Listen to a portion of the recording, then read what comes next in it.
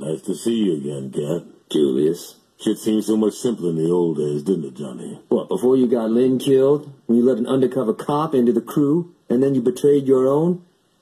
Yeah. Simpler. I wasn't responsible for what happened to Lin, and you know it. Didn't argue the other two, though. That's what I thought.